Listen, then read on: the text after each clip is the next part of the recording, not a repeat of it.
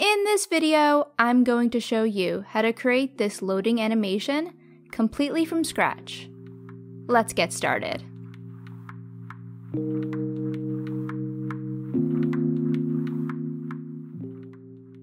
So to get started, I'm opening up a CodePen project.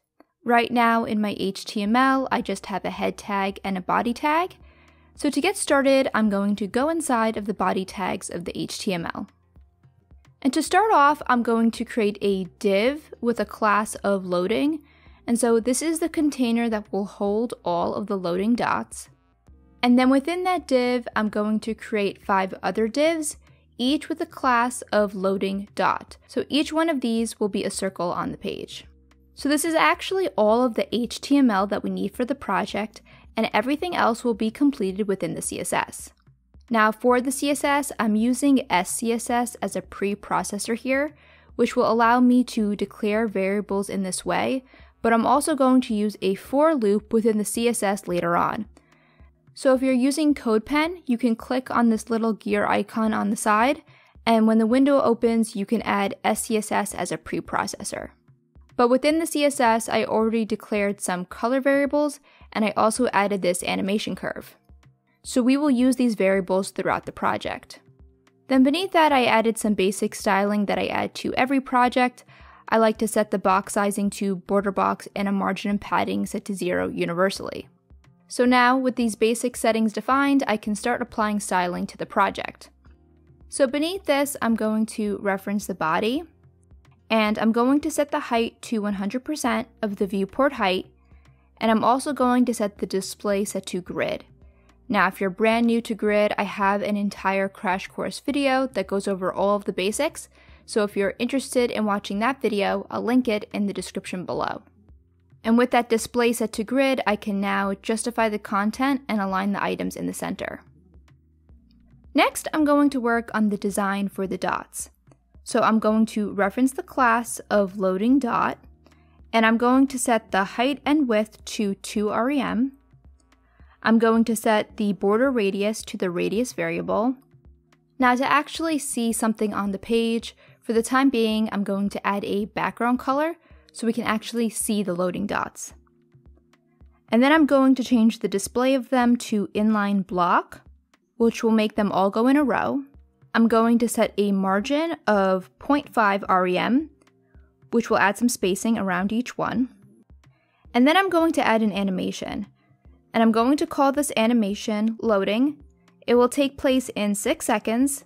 It's going to have the animation curve that I defined as a variable, and I want this to play infinitely, so I'm going to add infinite.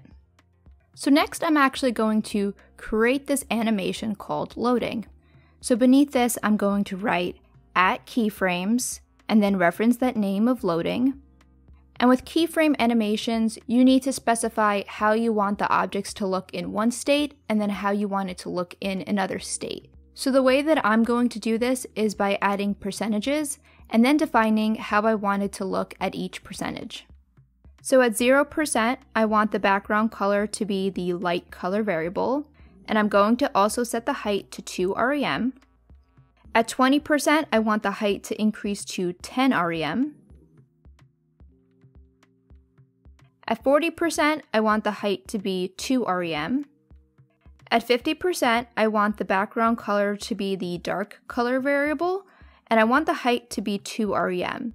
And that's because between the 40 and the 50%, I want the circle size to remain the same. So I don't want it to grow or shrink, but rather hold its size for this time frame.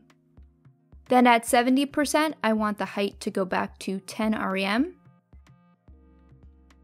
At 90%, I want the height to go to 2 rem. And then at 100%, I want it to go back to the default state. So back up next to that 0%, I'm going to set it to 100% as well. So now this animation is starting to take shape. However, each dot is animating at the same exact time, but I want it to have a wave kind of effect, where there's an animation delay between each dot. So beneath this, I'm going to add that delay. Now, there are multiple ways that you can do this, but the way that I'm going to do it is by adding a for loop with SCSS. So beneath this, I'm going to write at for, and then I'm going to add a dollar sign with an I, which basically represents a variable. And then I'm going to write from 1 through 5 because we have 5 loading dots on the page. And for each one, I'm going to write dot loading dot nth child. For each one of these, so I'm going to reference that variable. I'm going to add an animation delay that will take into account which child they are in the sequence, and I'm going to multiply that by 0.2. So the first child will have a 0.2 seconds delay, and the second child will have a 0.4 seconds delay, and so on. So now we can actually see this animation delay in the project. Now, we can see that the dots are moving up and down the page in a particular way, and that's because of its native vertical alignment. So going back up under that loading dot, I'm going to set the vertical align to middle. And the last thing I'm going to do is actually remove this background color of red to the default state because we don't need it anymore. So there you go. That's how I created this loading dot animation completely from scratch. Please let me know if you have any questions on the topic and subscribe to stay up to date with my latest content. Thanks for watching.